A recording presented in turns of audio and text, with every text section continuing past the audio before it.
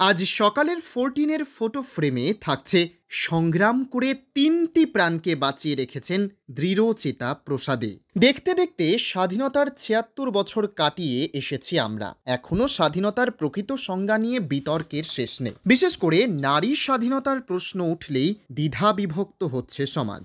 কিন্তু সমাজের ওপরতলার এই বিতর্ককে সরিয়েই জীবন সংগ্রাম কিন্তু থেমে থাকে না। সেরকমই একটি জীবন সংগ্রামের ছবি উঠে এলো আমাদের ক্যামেরায়। প্রসাদী সরকারের বাড়ি রায়গঞ্জের কমলাবাড়ি গ্রাম পঞ্চায়েতের সোনাবাড়ি এলাকায়। আর পাঁচজন সাধারণ গৃহবধূর মতোই সংসারও সামলান। আবার টোটো চালান। কিডনি সমস্যাজনিত কারণে স্বামী শয্যাশায়ী হওয়ায় এমনই ক্লান্তিকর জীবন বেছে নিতে হয়েছে তার। ঘরে সাত বছরের পুত্র সন্তানকে রেখে উদয়াস্ত শ্রম দিয়ে চলেছেন তিনি। সকাল থেকে সন্ধে পর্যন্ত রায়গঞ্জ ও তার পার্শ্ববর্তী এলাকায় টোটো চালিয়ে বেড়ান। এমন জীবন সংগ্রামকে পণ করে নিয়েছেন তিনি। দৈনিক তিনশো থেকে চারশো টাকা আয় হলেও ব্যাংক ঋণের কিস্তি, স্বামীর চিকিৎসা, ব্যয় সামলে সংসার খরচে টান পড়ে তার। তথাপি তার সামনে সুস্থ এবং সম্মান নিয়ে বেঁচে থাকার জন্য বিকল্প কোনো পথ খোলা নেই। তাই তো তিনি টোটো চালানো নিয়েই ধনুর ভাঙা পণ করে প্রতিটি সূর্যোদয়ের জন্য অপেক্ষা করেন। নিষ্ঠুর নিয়তি আর কাকে বলে? যে গৃহবধূর স্বামীর রোজগারে টেলিভিশনের ধারাবাহিক দেখে অলসতায় জীবন কাটানোর কথা, তিনি কিনা তিনটি প্রাণকে বাঁচিয়ে রাখার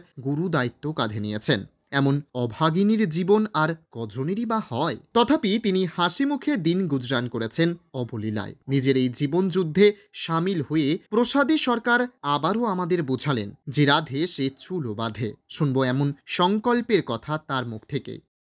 দিদি আপনার নাম? প্রসাদী সরকার। কোথায় বাড়ি? সোনাবাড়ি কবজা মহসব সোনাবাড়ি মোহন কলোনি। টোটো চালাচ্ছেন কতদিন ধরে? তিন মাস। কি কারণে টোটো চালাচ্ছেন? আপনি কেন? স্বামী অসুস্থ তো ছোট ছোট ছেলে আছে তো খরচা চালানোর জন্য করতে হচ্ছে। স্বামী অসুস্থ বলতে কীরকম অসুস্থ? কিডনিকের একটু প্রবলেম আছে আর এই সুগার সাড়ে নয়শো সুগার হয়েছিল। সে থেকে চোখটা তো অন্ধ হয়ে গেছিল পরে এখন একটু ঠিক আছে। কিন্তু সারাদিন গাড়ি চালাইতে পারে না ওই যদি চালায় তো বিকালবেলার টাইমটা একটু চালায়। স্বামী সন্তান ছাড়া আর কি কি আছে সংসারে? সংসারে আমরা এখন বর্তমানে তিনজনই আছি। ছেলে কত বয়স? সাড়ে সাত বছর। স্কুলে পড়ে? স্কুলে পড়ে। এখন স্কুলে? হ্যাঁ। এই যে তিন মাস ধরে টোটো চালাচ্ছেন রান্না বাড়ি খাওয়া দাওয়া রান্নাবাড়ি সকালে কোনো দিন রুটি করে আসি কোনো দিন ভাতও করি আর নাহলে যাই করি। আবার যায় কোথায় কতক্ষণ চালান?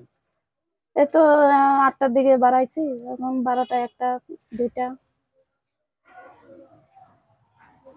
খরচা পোষায়? কোনো রকম চলতেছে একদম।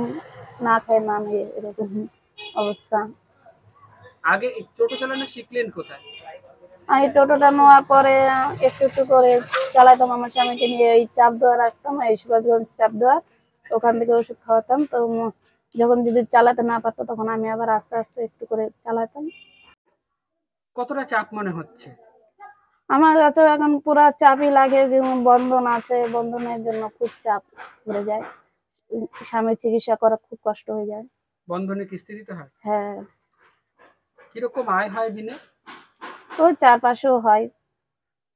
উত্তর দিনাজপুরের রায়গঞ্জের সোনাবাড়ি ঘুরে নিজস্ব প্রতিনিধির রিপোর্ট টাইমস ফোর্টিন বাংলা।